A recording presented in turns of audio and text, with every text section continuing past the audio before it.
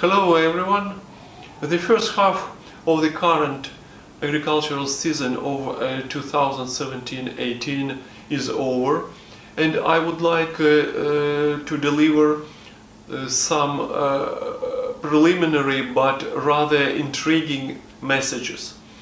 The first message is that uh, Black Sea countries, Ukraine, Russia and Kazakhstan exported 35 million tons of wheat.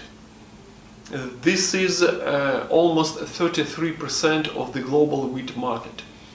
Please compare this number uh, with the shares of uh, the United States, 14% uh, of the uh, wheat market, and share of European countries, 15%.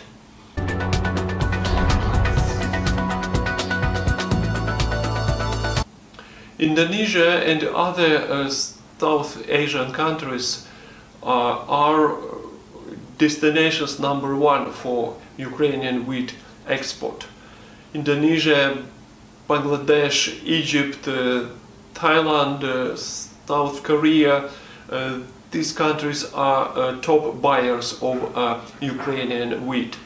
For Russia, Russian export uh, Turkey and Egypt are key uh, destination, uh, are key destinations. Well, but anyway, share and role of South Asian countries like Bangladesh and Indonesia uh, increases also for uh, Russian export. Uh, so I suppose that competition in the global wheat market will intensify in the next uh, season.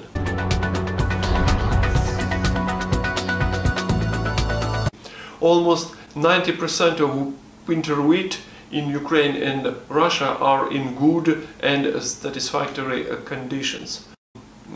US mm, farmers uh, face uh, weather problems. In Texas, about 44% of winter wheat uh, is in, in poor conditions because of severe frosts. So uh, wheat uh, supply from the Black Sea region uh, will play a more significant role in, in the global wheat market next season. And I suppose that uh, wheat uh, from Ukraine and Russia will more influence on price formation in the global market.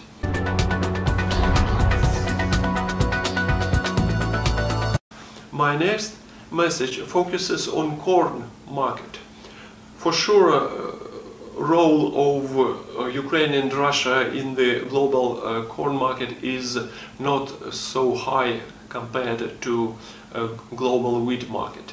Well, but uh, anyway, um, potential of uh, Russia to increase production and export of corn is uh, rather high. And I think that developments in the world corn market could be very similar to the trends and tendencies of uh, the uh, global wheat market in the coming two, three, five years. Thank you very much for your attention. I hope that uh, my outlook was uh, effective for your uh, decision making and please follow up our updates.